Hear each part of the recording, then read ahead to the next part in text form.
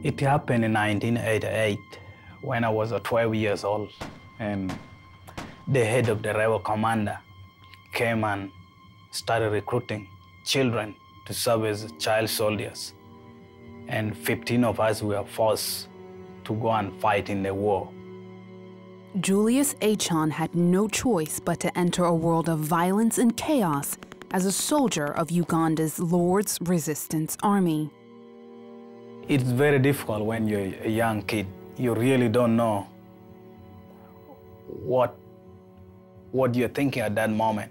When the gun or the, the plane is uh, shooting, following you, each and every time you just run for your lives. And I remember I didn't know how to pray, but when the plane shoot the bombs, I would call the name of the God. I said, God help me, you know. That day, Julius managed to escape along with many of the child soldiers. He was among the few to make it out alive.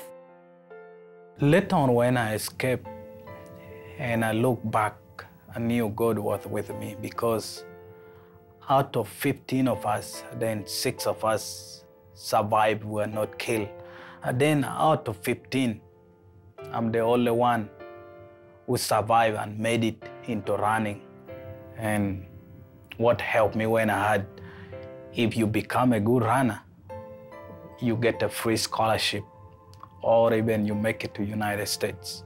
When I ran home in the evening, I told my mom and my dad, I said, tomorrow I'm gonna run to town, which is about 42 miles. And they thought I was joking. The following morning, I ran 42 miles. And I made it to town because I really wanted to represent my district and also to make it at the level which I would get a free scholarship. Julius went on to win that race and was awarded a full scholarship to study abroad. He set the NCAA record for 800 meters and would later compete in the Olympics representing his country Uganda in the 1996 and 2000 Games. Sports has made my life, my family, and my community change. Both Olympics I was given to be the Uganda team captain and flag bearer. I would see such a moment everything just would change with a big population during opening ceremony and seeing myself on the big TV screen. Then from that time, I just knew like, I just want to do better. Julius experienced many highs through running, but also experienced several lows. In 2004, after a trip home from Uganda, tragedy struck. When I came back to Portland, Oregon, then later on I had my mother was shot. She had bullets, needed some money to take her to the hospital. But unfortunately, I didn't have money and she bled to death after four days. And then from that time, my mind started reading if I should build a medical clinic because when I left the village, there was never been a hospital. So I feel if there was a hospital, maybe my mother could have not died.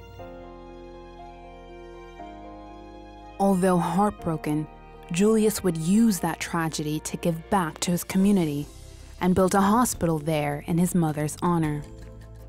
He also started the Julius Achon Foundation, where he houses, feeds, and educates orphans in Uganda. And I see the more I do good things to people, the more people love me. And it has gotten bigger and bigger. And I see the hospital alone now is treating about 700 patients in a month. Julius hopes his foundation will help his country build a brighter future, yet remains humbled to know that God can use someone like him to make a difference. Each and every time I then ask myself why, with the population of northern Uganda, I'm the only one chosen, and I'm in United States, like in my community. And then sometime when I read the Bible, book of Philippians uh, 1 6, which said, He who began a good work in you will be faithful to complete it till the days of Jesus Christ. And never always I don't want to give up. And never giving up became as a song like never give up, never give up, keep doing good things, keep working hard. Struggling has a purpose, has a destiny or somewhere to go. You should not see that you don't have the parents, you don't have the family. But God is the number one family in your life. And I would encourage everybody or a kid watching from Africa should never give up in their life.